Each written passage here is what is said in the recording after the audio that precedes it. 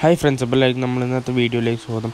കൊല്ലമാസ് fishes എന്ന YouTube channel ഇപ്പോൾ തന്നെ നിങ്ങൾ സബ്സ്ക്രൈബ് ചെയ്യുക പിലോപ്പിയ ഫിഷസ് നമ്മൾ പറയുന്നത് ടിലോപ്പിയ ഫിഷസ് ടിലോപ്പിയ എന്നാണ് പറയുന്നത് പിലോപ്പിയ ഫിഷസിന്റെ ഐഡന്റിഫിക്കേഷനെ പറ്റിയാണ് ഞാൻ ഇന്ന് പറയുന്നത്. അതിന് നിങ്ങൾ ആദ്യമായി ശ്രദ്ധിക്കേണ്ട കാര്യം തന്നെ അതിന്റെ സൈസാണ് സൈസ് ആ പെൺ ആൺ മത്സ്യം വലു കുറച്ച് വലുതുമായിരിക്കും പെൺ മത്സ്യം കുറച്ച് ചെറുതുമായിരിക്കും. പിന്നെ പിന്നെ ഞാൻ പറഞ്ഞ മാതിരി തന്നെ ആൺ മത്സ്യത്തിന്റെ മറ്റേ എൻസിന്റെ അടിയിൽ ഒരു ചെറിയ ഒരു ട്രയാങ്കുലർ ഷേപ്പ് ഉണ്ടാവും. പെൺ മത്സ്യത്തിന്റെ ഒരു റൗണ്ട് കളറായിരിക്കും നിങ്ങൾക്ക് ഇതിൽ കാണാം.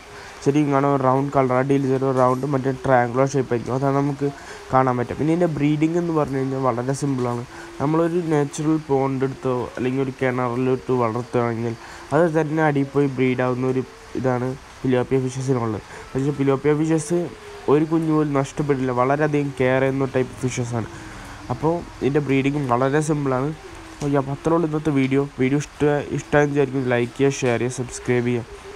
ഈ ചാനലിൽ എല്ലാവർക്കും ഇതേ വേണ്ടി ഉപയോഗപ്രദമായ വീഡിയോസ് ഉണ്ടാകും നമ്മൾ കുറേ ഗ്യാപ്പിന് ശേഷം ഇങ്ങനത്തെ വീഡിയോസ് ഇടുന്നു അപ്പോൾ thanks for watching my video goodbye friends